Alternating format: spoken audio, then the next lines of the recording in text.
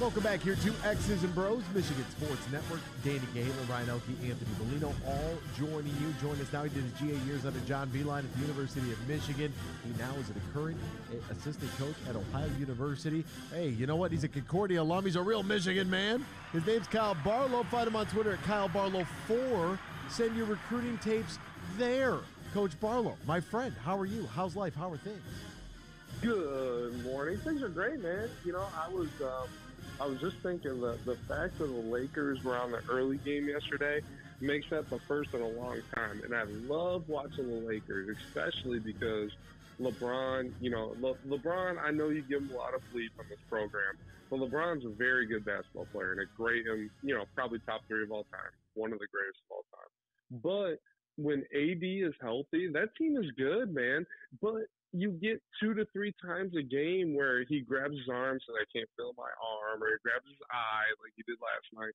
You know what I mean? And it's just like it's fun to watch when they're really good, but like AD, like don't be a China doll, man. Like you know what I mean? I know what you mean. I, I trust me. That guy's softer than a roll of Charmin. He's like built out of paper mache. And LeBron, I would like the the king of convenience more if he wasn't the king of convenience. If you know what I mean, like he's just such a liar, la fraud, la flop. Like it makes it he makes it easy for me to dislike him because I just feel like okay, oh, okay, he, okay. He, in what way then? In what way? Yeah. Okay, let's go back to the the animosity in this country in 2020. Let's go back to the people oh. protesting the George Floyd um, murder. Yep right? Let's go back yep. to police brutality. Let's go back to the Black Lives Matter movement. Let's go back to all of that, which it disappeared all of a sudden, but let's go back to it. And as we go back to it, there was a story. Uh, LeBron James's home in LA was vandalized. Mm-hmm. Mm-hmm. And I, I don't know if you have, but I haven't. Uh, TMZ hasn't. Uh, no one has come up with a single photograph of the vandalism that allegedly took place at his home. Now that's a serious that's a that that's a serious accusation there, and I understand and take full responsibility. And when I see the photographs for it, then I'll believe it. Or as the kids like to say, pics or it didn't happen. So then we'll continue on that very same train, right? Where the great Dr. Martin Luther King okay. once said, I believe he said, uh, I think the quote, I misquoted Winston Churchill and credited him for a quote that yeah, should have went to that. Theodore Roosevelt. So I want to make sure I get that's this. my son's name. Right, yeah, that's my son's name. Big, don't do that. Big win. Um, but uh, injustice anywhere is a threat to justice everywhere. Correct. Well, yep. all of a sudden, yep. the Golden State Warriors minority owner, I forget his name off the top of my head, but there's a group of people called the Uyghurs in, uh, I believe it's northwest China. Uh, they are Muslim by religion, and there is allegedly or was allegedly a basically a genocide of these people in China. You know where a lot of Nike sneakers are made. They're made in China. Mm. So although we mm. want to protest everything, every single thing that happens here, wait a minute. The minute yep. it hit your pocketbooks, right? The minute it could have hit your pocket, you decided not to say diddly boo about anything. But then you expect other people to have any care or concern about your cause. That's a fraud. He went on to say during playing Madden that he uses Jalen Ramsey a specific way. And Jalen Ramsey said, You know what, LeBron? You sure do lie a lot here on the internet. And everybody laughed because, well, he does. And those are just a couple of quick examples, not to mention his decision to go get all of his friends and try to team up and then lose to a seven seed in the Dallas Mavericks the first go around. I get it. I understand. Had Draymond not got suspended, they probably don't come back from 3 1 against Cleveland. We'll get to Draymond Green, the head case that he is. But you know what I mean? Like, there's just too much. You won the Mickey Mouse bubble trophy. That's fine. The Miami Heat were a lot better in that bubble, too. That's pretty interesting. And you went on one time, you went to say that you were chasing a ghost that is Michael Jordan, to all of a sudden saying that when you guys beat the Warriors, the best team ever, slight at Jordan. That's when you knew you were the best player ever. Also, another slight at Jordan. I could go on, but I'll stop because the fans are probably like, damn, this guy really came prepared for this. And we didn't talk about this at all beforehand. No, we didn't. No, we didn't. And you know, I I think you became you you you came very well prepared. And I agree with most of what you said too. But let's not forget, like, if you want to bring up the political issues, um, MJ would never touch those. But LeBron in Miami with uh, Trayvon Martin, um, with the hood, they did the hood up, like right, like they did.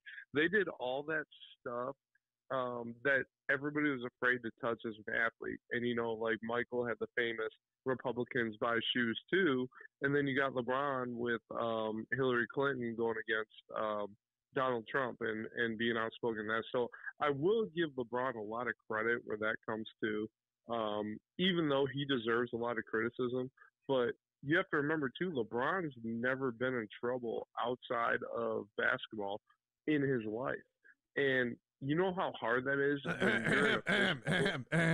I remember no, no, an Instagram oh, okay. story and a and a screenshot. Uh, you teach me how to hunt, and I'll teach you how to hoop. I believe is what it said with a uh, a young, uh, attractive lady who had a like a crossbow or something crazy. Yeah. I'm yeah. like, what is he doing yeah. out here? Farmers only.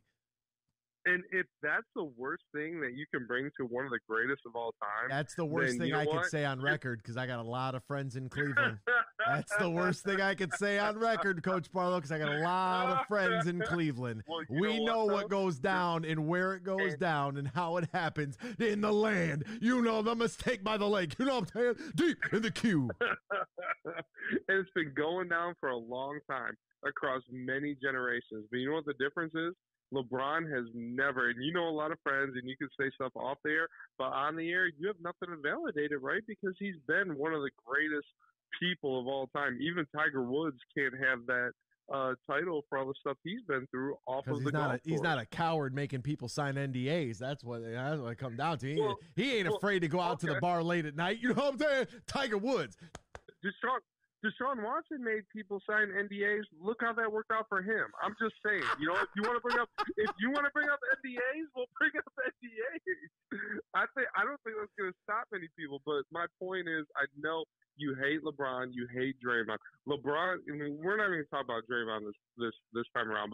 LeBron, one of the greatest of all time, kept a very solid reputation on and off the court.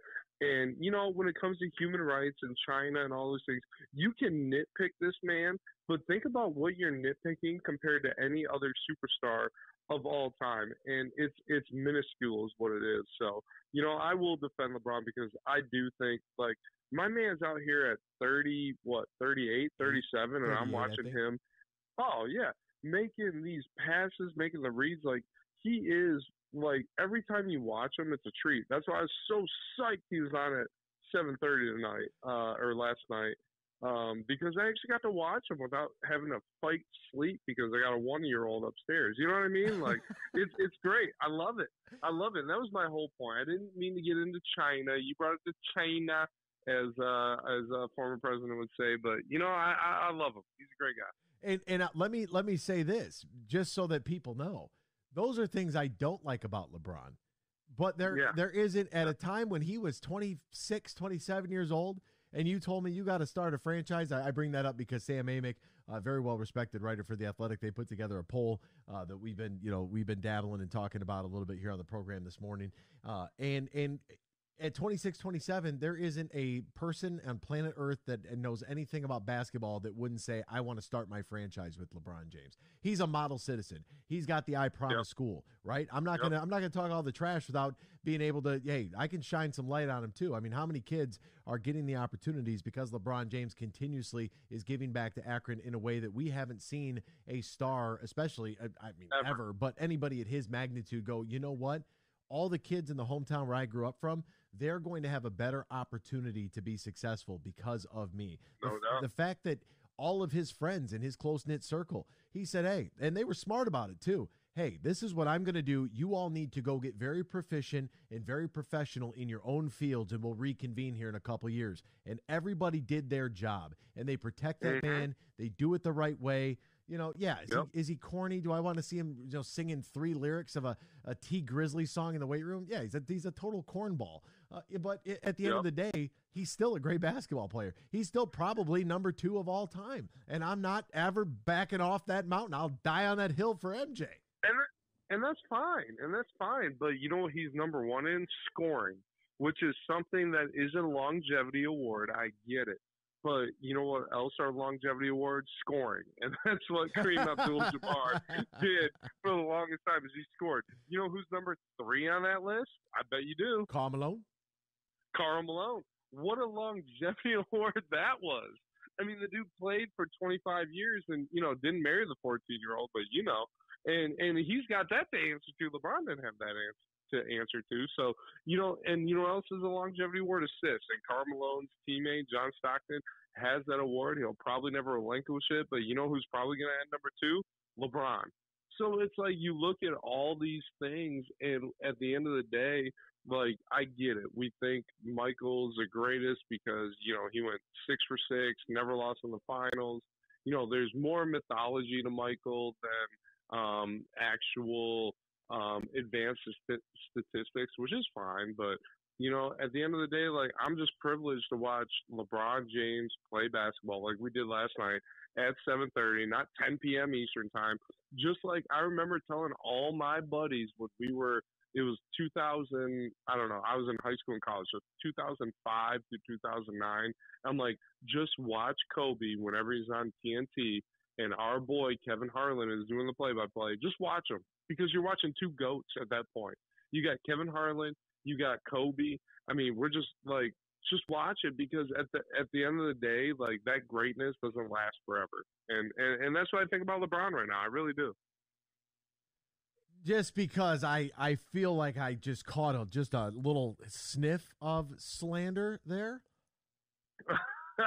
Not one but two three peats. A three-time Steals champion, a 14-time All-Star, 11 of his 13 seasons he was All NBA, the 84-85 Rookie of the Year, the All Rookie Team, nine-time All Defensive, a Defensive Player of the Year award, six-time Final MVP, five-time League MVP, uh, six-time champion, ten-time scoring champion. Oh, and by the way, everyone talks about the Washington Wizards and blah blah blah, this, that, and the third, and ah, oh, Washington, and yeah, he came back to try to revive a team at 38, 39. Yeah, yeah, that, you know, yeah, I started 53 of 60 games in the 01 02 season. Like that's that well, that's pretty like that's pretty solid. Oh no no no no! You just ripped off the resume, but let let what separates LeBron and Michael, and this is not where we want to go with this conversation, but we're going there. what what separates LeBron and Michael? Oh, there's a couple arguments. One is he Michael was the MVP and the Defensive Player of the Year in the same year. LeBron cannot claim that. But okay, folks, let's look up 2013 LeBron and let's see. Okay, he was the MVP with the Heat. The dude was an absolute machine. He was he was shooting like 65, 48 from three, and then like 90, 80 from the free throw line. It was insane splits. And then he was also the best defender in the league. Him and D Wade would just heat people up as soon as they got to half court. But you know what? Marc Gasol won player uh, defensive player of the year that award. Marc Gasol was second team all defense. Like LeBron got screwed in that award. Okay, so let's take that away from him, right? Like there's a lot of different arguments you can make. Like trust me, I'm I'm not saying Michael's not the goat, but I'm just saying for everybody who said this is a night night argument, like my one and a half year old says when we have to take a nap, it's not night night. Like there's a lot of stuff that has to go into it.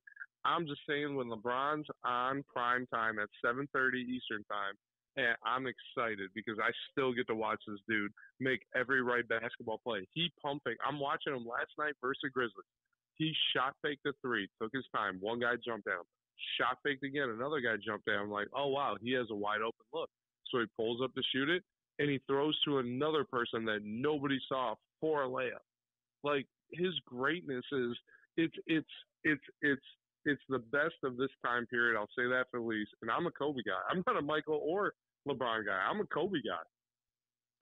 Yeah, and and look, um, I I when it comes to LeBron, like he he he, there was LeBron fatigue there for a while with MVP voting because there was a yep. stretch yep. where, I mean, hell, he was the most valuable player in the league. There there was no there was no ifs ands or or buts about it. We didn't even get. Can we get to it real quick? Uh, just just real yep. quick because yep.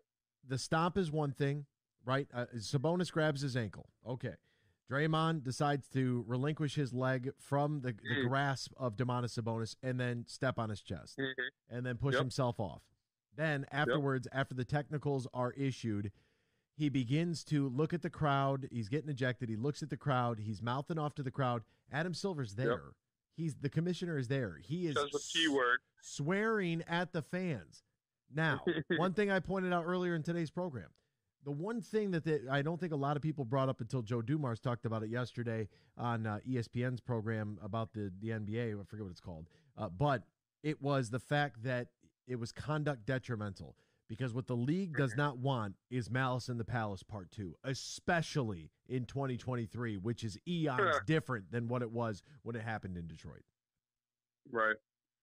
Um. Yeah, I think you know, it's it's actually very fascinating that Joey D is the um, the Law and Order when it comes to this because he was the GM of that Mouse in the Palace, and you brought it up.